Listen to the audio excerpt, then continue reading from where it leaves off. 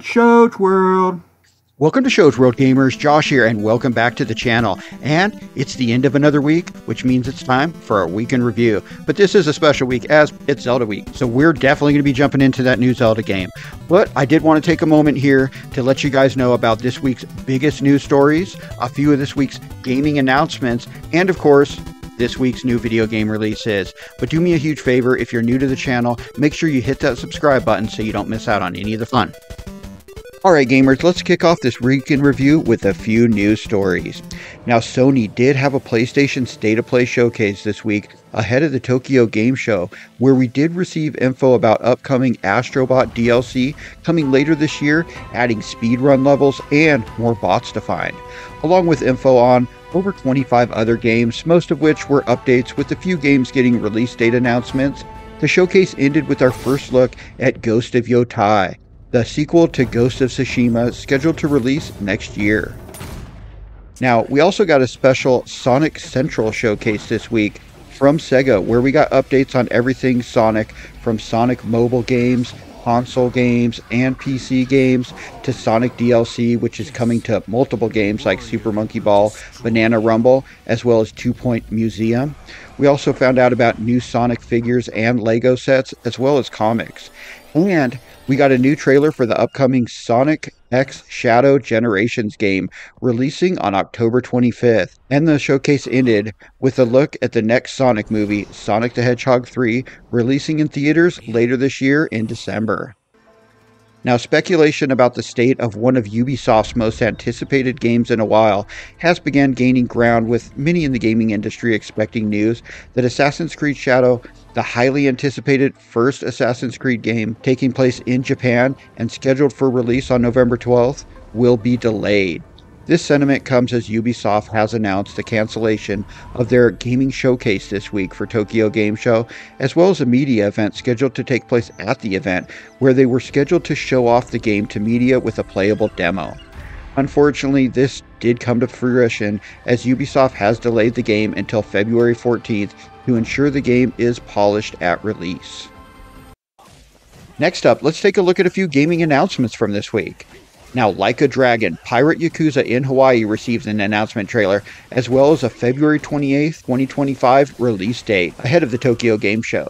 The spin off of the mainline Yakuza series has you taking the role of Goro Majima, a once feared legend in the Yakuza world who has lost his memory and set sail in search of treasure. The game is sure to be packed with the over the top hilarity the series is known for when it releases on the PlayStation 4, the PlayStation 5, PC, Xbox One, and Xbox Series systems next year.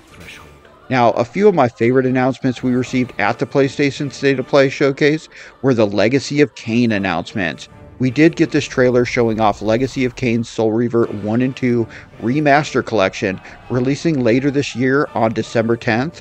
But that's not all. We also found out that the original PlayStation 1 Legacy of Kain Blood Omen is coming to PlayStation Plus in October. This game is an absolute hidden gem and one of my favorite games on the console. Now, Tanuki Pon's Summer received an announcement trailer this week.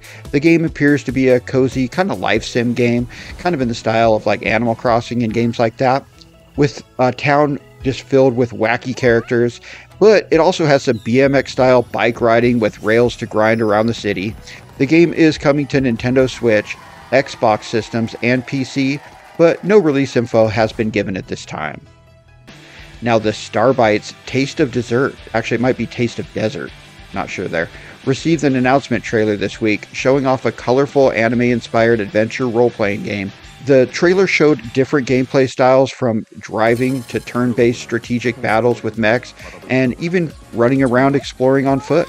The game is coming to the Nintendo Switch, PlayStation systems, PC, as well as Xbox systems, but no date was given for that game either.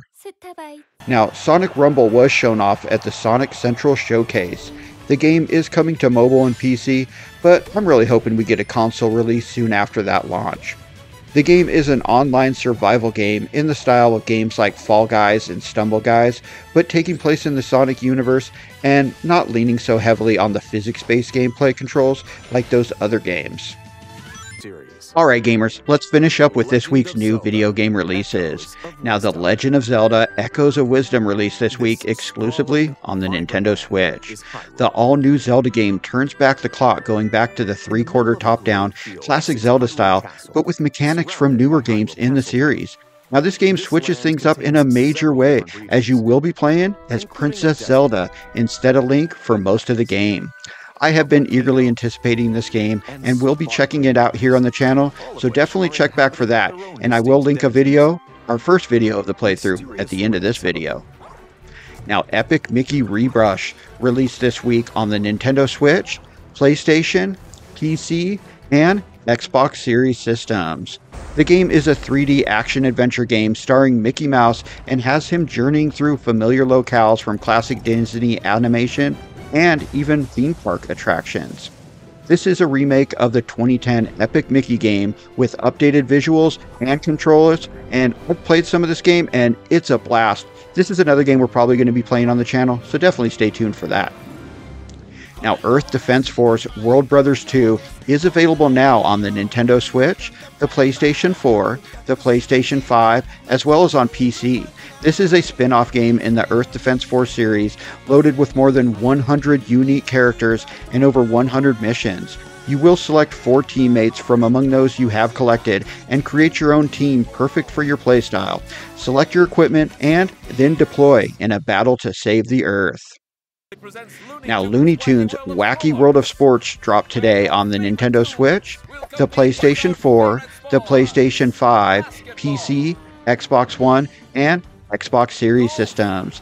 The game has you joining your favorite classic Looney Tunes characters like Bugs Bunny, Daffy Duck, and more as you play wild sporting events, including soccer, tennis, and golf. Now, also, Renatus or Renatus, I'm not exactly sure how to say it. I would say Renatus, maybe, is releasing tomorrow on the Nintendo Switch, the PlayStation 4, the PlayStation 5, and PC. The game is a full blown, action packed, magical role playing game in which two people with different perspectives fight for their ideals in a realistic version of Shibuya, Tokyo. And this game looks like some fun. I may check this out on the channel. If I did, I'll link that video at the end of this one also. Alright gamers, that concludes this week in review for the week ending on September 27th. The week started with the PlayStation unveiling special 30th anniversary PlayStation Limited Edition controllers, a special edition PlayStation 5 Pro, and more. Then we got both a Sonic Central and a Sony PlayStation State of Play, showing off and updating us on a variety of different games and projects. And the week ended with the Tokyo Game Show kicking off over in Japan, where for the first time this year, I think all three major console makers are going to be there in some form or another. I don't know if they're going to all have booths. I know Sony's going to be there with a booth, which will be the first time in a long time. But let me know anything we may have missed in the comments, and thanks for joining us today, gamers. Shojworld out.